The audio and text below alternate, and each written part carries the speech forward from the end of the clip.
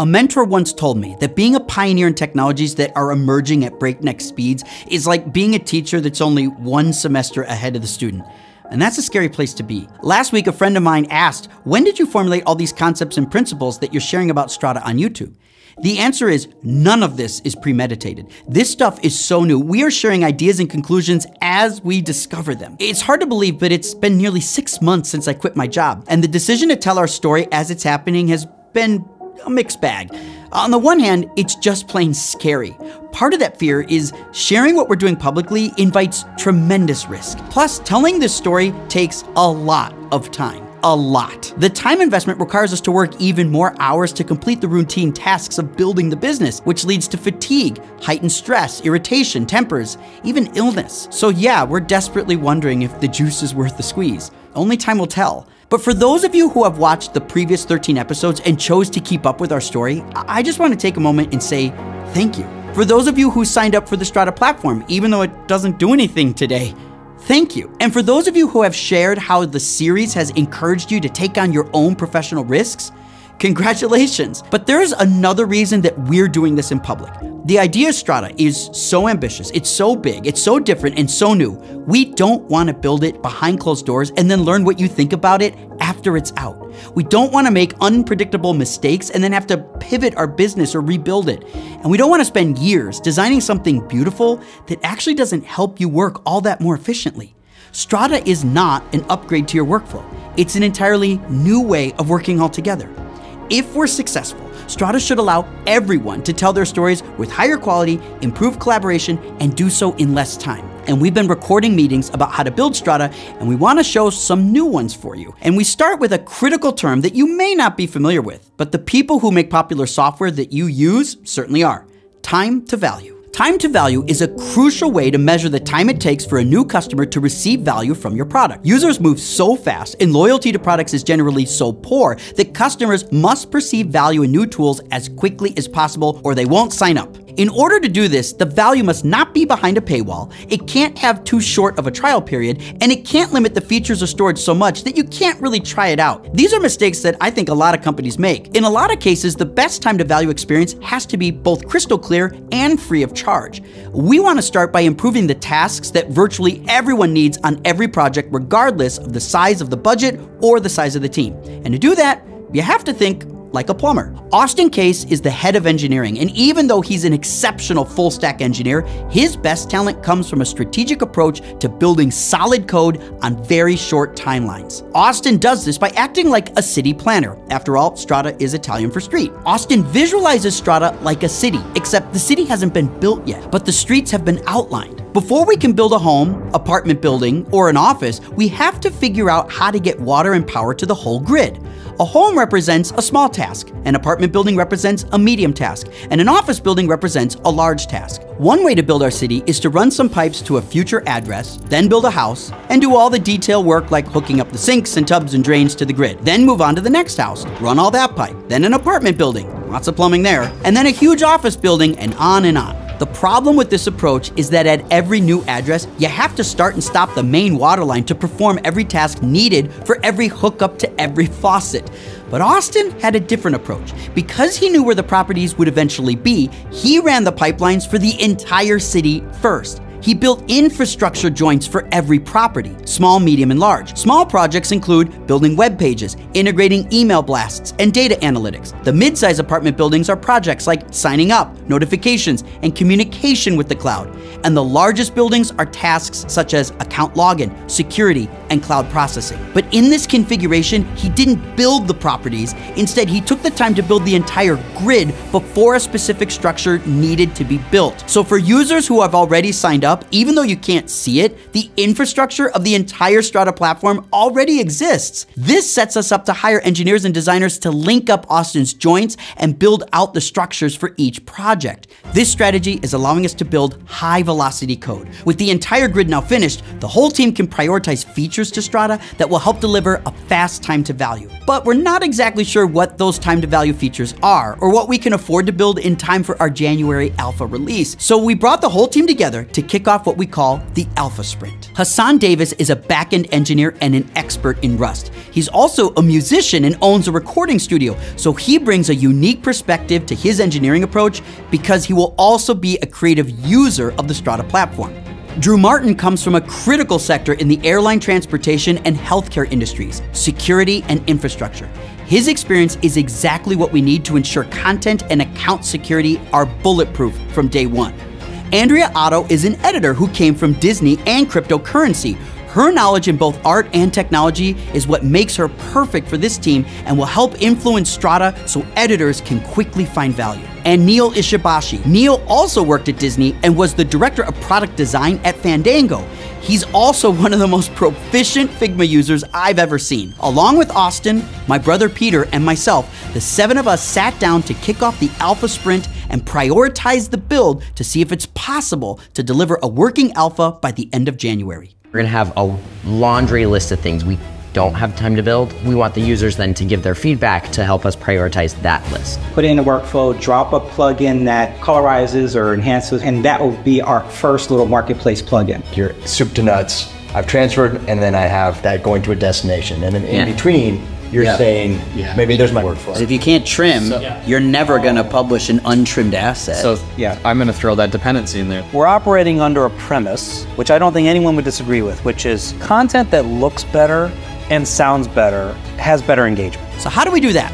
Well, one problem with such a vast market between narrative and influencers and podcasts and music and documentary and news, sports and houses of worship is that there's an enormous world of potential workflows. But in all our conversations of workflows, we realize something interesting. No matter what your market segment, no matter your budget or even the size of your team, there are four things that virtually everyone does. Transferring media from source X to source Y. Transcribe. Most content that's captured is talking heads. There needs to be transcription of what was said. We've kind of appended this to also include translate. And then third is transcode, so turning codec X into codec Y. Tanalyze, we can run all the content through some of these fine-tuned models that basically analyze what's in each frame. A transfer, transcribe, translate, transcode, Analyze, Analyze. translate, Analyze translate, translate, Transfer. Transcribe. transfer. transfer. And that's where Strada is going to start. The four T's transfer, transcribe, along with translate, transcode, and tanalyze, our version of analyze.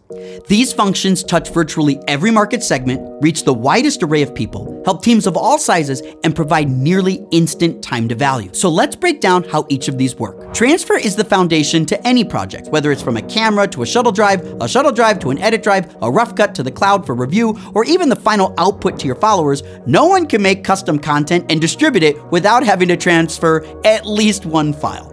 So, what if we could revolutionize the transfer process by doing something no one else does? Create a ubiquitous transfer platform that allows you to securely connect local drives to clouds, clouds to local drives, and clouds to each other. Look, no one uses only one cloud or one library of assets. So, what this means is you can give every user in your project the ability to search across every connected library. That means you can either leave the files in place, accessing them regardless of their location, or you can move files from one cloud to another at 10 gigabit transfer speeds without having to download or re upload anything. Doesn't actually matter where your media is, you still get the same workflow. If you're gonna do cloud to cloud movement or cloud to drive, you want every And they asset. want to transfer it. it's like- sure. So we provide that service. To the user, this should all like hide. If I plug in this, I can use Strada. That seems weird. Oh, if it's in Google Drive, I can also use Strada. That's magic. That's a bridge to the cloud. Next up, we have transcribe. I suspect that more than 95% of all video and audio recorded is someone talking. So why don't you just get a transcript of what's being said at the outset? You shouldn't have to manually create a transcript at all. You certainly shouldn't have to wait for it. And it shouldn't require an NLE to connect what's being said with where the time code is located. Most tools that transcribe don't have timelines. The ones that do, they require manual steps and they're just too involved for someone who just wants to do a simple paper edit or even a search. What's more, when you know that there's a need for a language translation, why not automatically deal with that at the start? By transcribing and translating everything at the outset and providing a connection to the time code that it's located, you can instantly do a paper edit on an interview that's shot in a language you don't speak. And you wouldn't need to ask for help or load it into an NLE to get a special transcription tool to do any of that. Until now, transcription has been a task performed near the end of a project or as a special request. And in narrative editing, it's extremely rare to do it at all.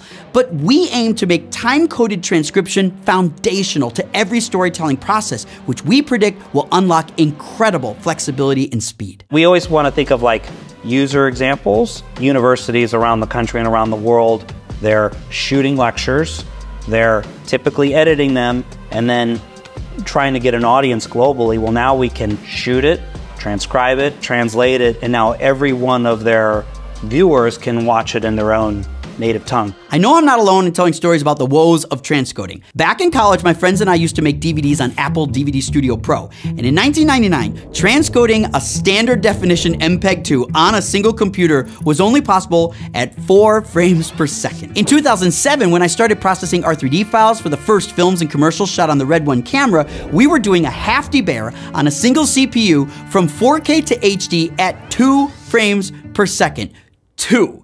Even though we're moving much faster than those days, it's still common that people convert a camera format to an editing format, or they convert an editing format to a distribution format. What if we could set that up ahead of time? Save the settings, and then use the cloud to transcode them to any format and put them anywhere. This means you could set up workflows to convert raw camera files to edit ready files like ProRes or DNX or HEVC.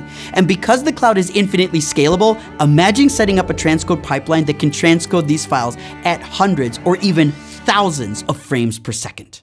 If my YouTube workflow did a crop, reframed it with an AI reframe to keep the face in it, transcoded it, and published to YouTube, and we could get that by alpha, I think that would be a little taste, and people would be like, what else can I put in there. One of the worst parts of the editing process is logging. I say worst because logging is this step that I always feels in my way before I can dive into an edit. But if you skip that part of getting organized, you may start editing a little sooner, but the overall time to edit will slow down because you're constantly looking for a needle in a stack of needles. So what if you could not only have your assets analyzed for you, what if you could tune your clips to analyze what you're going to be looking for? For example, there are programs that can apply custom metadata to a clip. Tagging like this is commonly typed in manually to a description field, or some tools allow you to manually tag assets with a button if you know what's in them. But this is all backwards. Who wants to dig through assets and then apply the necessary tags retroactively? The right way to do this is to know the tag that you want and have the computer analyze it and tag it for you. Tanalyze is our reverse tagging in which you can take a clip, identify something you want tagged, let's say a logo, and then Strada Tanalyze will examine every asset, find all the logos, tag all the clips for you, and you only have to do it once.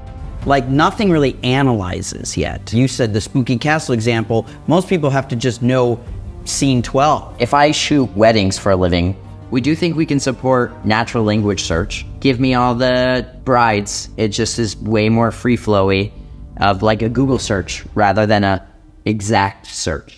Individually, the 4Ts may not seem that impressive. You can do some of these tasks with several tools in the market today.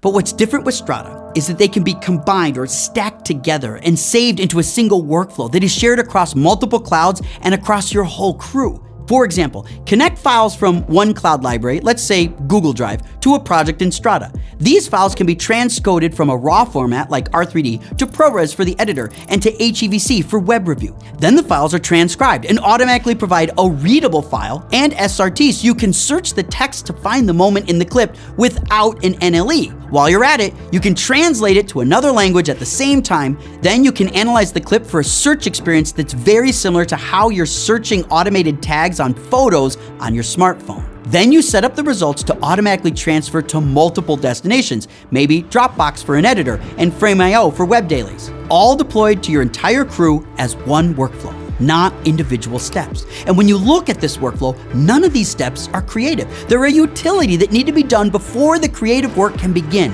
That's what I mean by showing time to value.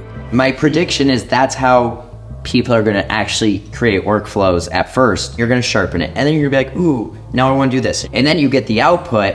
And now you look at your asset history and you're like, That's a workflow. The goal is not to provide value in the alpha as much as it is to get feedback on what is valuable. Sure. If people are like, all this analysis is great, I just need to search by it, it's like we hit the nail on the head and all we gotta do is build search. Right. That is like a great answer to alpha. So those all make sense to me. And then it's like, well, what's left?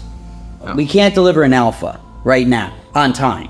Well, depends on where you cut it. We said if we cut it off here, which is mid-December, We're good.